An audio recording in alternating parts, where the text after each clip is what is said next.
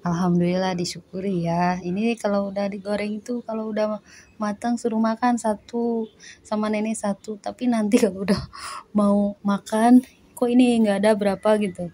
Padahal udah dikasihkan lupa jadi bilangnya makan nggak bilang-bilang gitu. Nah ini mau masak meja teh lagi bersihin ikan dulu ya ikan dulu sama mau pas ini nih bukan terong ya apa sih? Apa nama iya we. Nah itu ya di, di dibuang kulitnya terus isinya tuh dibuang.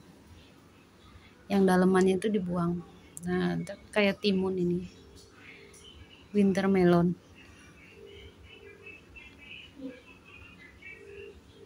Terus diirisin tipis-tipis aja. Nah ini dibuangin dulu meja karena nggak suka banyak sampah dan bersihin itu ya apa ikan. Ini disiksik aja disiksik tipis.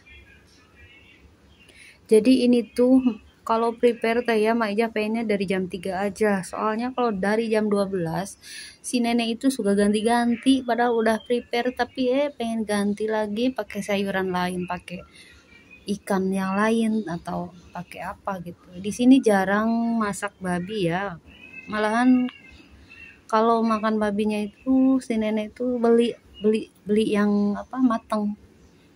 Gitu. Beli yang mateng. Jadi Maija masak aja nenek kebanyakan nenek ini yang masak. Tapi udah beberapa hari ini Maija yang masak. Makanya Maija bisa videoin gitu. Kalau sama nenek kan ribet nanti. Nah suka paciwe siapa? Udah kamu cuci aja saya masak. Kamu itu nggak enak masakannya terlalu asin katanya gitu. Ah dasar gak enak gak enak sambil habis itu. Anaknya sih oke okay, tapi neneknya uh, kayak gak mau itu. Kalau anaknya bilang enak tuh masakan aku tapi ya udah sabar aja. Karena apa pun itu saya pasti ngikutin.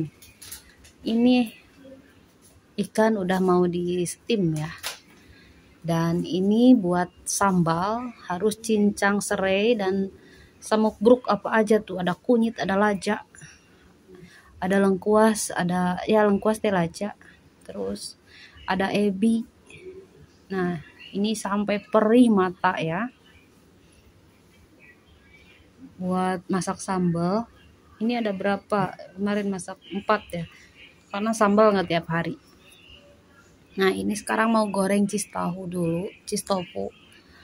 Itu di dalamnya ada kejunya, terus sama bakso udang. Digoreng-goreng aja, simple.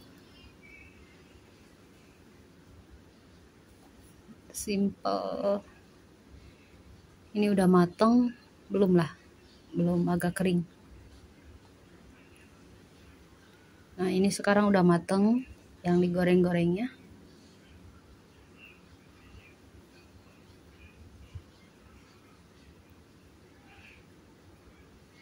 Diwadahin aja seperti ini. Dan sekarang mau oseng-oseng sayur. Ini tuh bumbunya nggak nggak ada nggak ada bawang merah. Cuma bawang putih aja sama ajinomoto. Terus apalagi udah.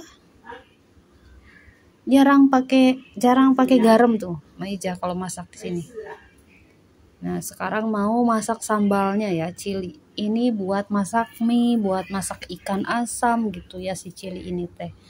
Jadi uh, cili saus cili nah itu tuh beli di toko lalu kayak kemiri semua bumbu dapurnya itu dicincang sendiri aja.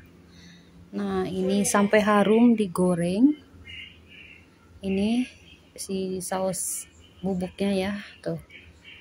Ini enggak pedes ini enggak enggak pedes. Banyak tapi dibanyakin gula pengennya tuh manis. Nah, gulanya Maija sampai 13 sendok ya. Itu itu keduanya itu. Sampai 13 sendok. Dan ini sambalnya satu toples.